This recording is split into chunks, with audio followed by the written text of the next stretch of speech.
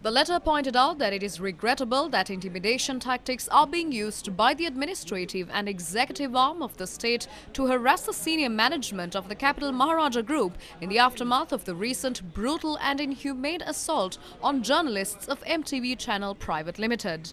The letter notes that while MTV Channel Private Limited has made itself available before each of the forums that has sought its presence, from the police to the Honorable Human Rights Commission to the court system, it is evident that there are sinister moves afoot to discredit MTV Channel Private Limited and its media operations by once again targeting and harassing its senior management, directors and journalists. It added that there is a CID investigation launched targeting MTV Channel Private Limited, senior management and journalists, while those who assaulted journalists and the superior officers who were present at the location remain in positions of power despite HRCSL recommendations, including SSP Romesh Liyanage and SSP Nizam Jamaldeen, who both function as important figures in the President's Security Division. This is a flagrant disregard of the HRCSL recommendations.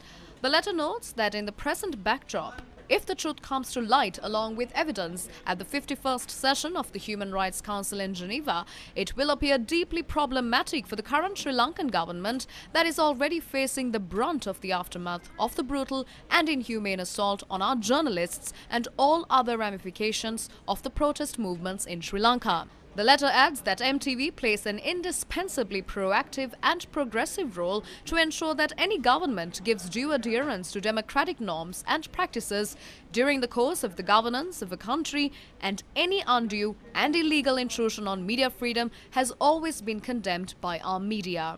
The letter calls on the Honorable Chairperson of the HRCSL, retired Supreme Court Justice Rohini Marasinghe, to intervene in preventing further harassment and suppression of freedom of speech and free media by directing the Inspector General of Police, among other things.